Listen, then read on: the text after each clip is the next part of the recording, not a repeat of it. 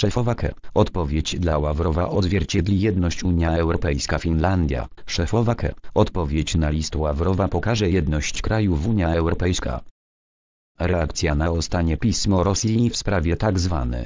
gwarancji bezpieczeństwa jest koordynowana na poziomie Unia Europejska i będzie odzwierciedlać jedność krajów członkowskich powiedziała przewodnicząca Komisji Europejskiej Ursula von der Leyen, która w czwartek spotkała się w Helsinkach z premier oraz prezydentem Finlandii.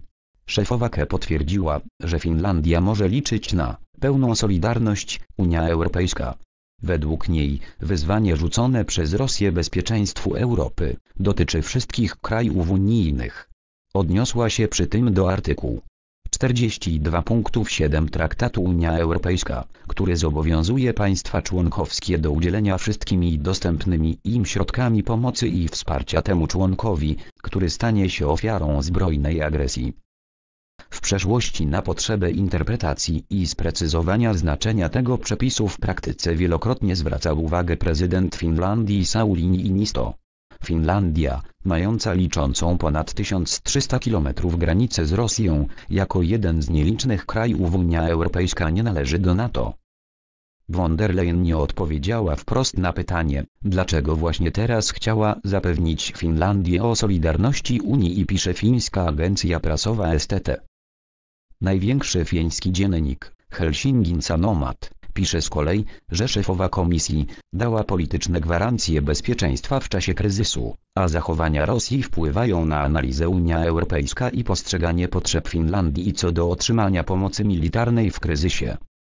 Zarówno von der Leyen, jak i premier Finlandii Sanna Marin przyznały, że jeśli Rosja rozszerzy swoje działania wojskowe, Unia Europejska jest gotowa wzmocnić w odpowiedzi sankcje gospodarcze.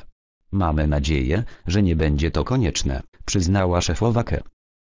List ministra spraw zagranicznych Rosji Siergieja Ławrowa, wysłany w ostatnich dniach do większości państw należących do Organizacji Bezpieczeństwa i Współpracy w Europie OBWE, w tym wielu krajów Unia Europejska oraz NATO, zawiera pytanie o stosunek do zasad OBWE, między innymi do tego, że żadne z państw nie zwiększyłoby swojego bezpieczeństwa kosztem innych państw. Teija Tilikainen, dyrektor Europejskiego Centrum Doskonalenia do Spraw Przeciwdziałania zagrożeniom hybrydowym w Helsinkach Hybrid COE, skupiającego 31 krajów Unia Europejska oraz NATO, uznała pismo za część typowej operacji hybrydowej, mającą na celu wywołać zamęt i rozbić w oczekiwaniu na potencjalne różne odpowiedzi jedność krajów zachodnich. Rosja, która zgromadziła w ostatnim czasie liczne siły wojskowe przy granicy z Ukrainą i prowadzi manewry w różnych częściach kontynentu, oczekuje od Zachodu i NATO pisemnych gwarancji bezpieczeństwa, o nierozszerzeniu sojuszu na wschód.